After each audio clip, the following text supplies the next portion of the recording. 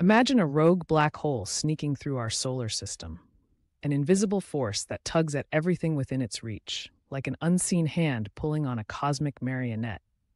As this black hole approaches, its powerful gravitational pull begins to destabilize the orbits of planets and celestial bodies around it.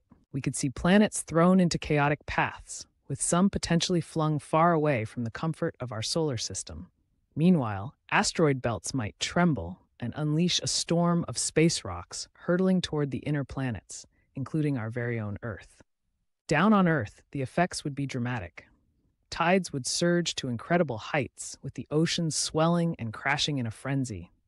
The gravitational forces could easily put our satellites and space stations at risk. Imagine them wobbling in their orbits, possibly even being knocked out of position.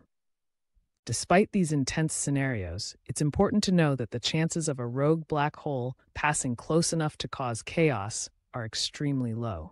Still, it makes for a fascinating what if. If you're intrigued by cosmic mysteries, check out Astrophysics for people in a hurry. Don't forget to like, subscribe, and remember the universe is filled with incredible surprises.